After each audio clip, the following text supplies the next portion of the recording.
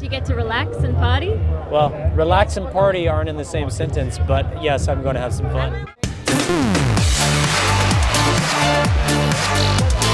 Now, it's probably the most A list after party in Hollywood, and if you made it on the guest list, well, you're very lucky.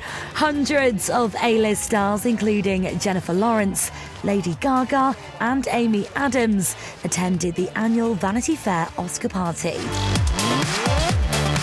John Travolta and his wife Kelly Preston also rocks up, and they were obviously having a great time. You should have won for, for Saturday Night Fever. Should have won for Saturday Night Fever. That's Thank all I gotta you. say. That's all we have to How say. How about his movie, huh? How about Alfred Hitchcock? Genius, Never won an genius, Oscar. brilliant. Then this happened.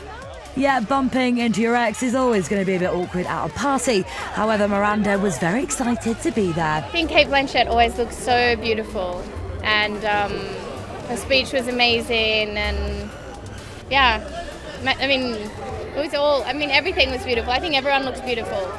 Also grabbing our attention on the red carpet were hot couple Ben Affleck and Jennifer Garner, Will Smith and wifey Jada, and host Ellen DeGeneres and wife Portia.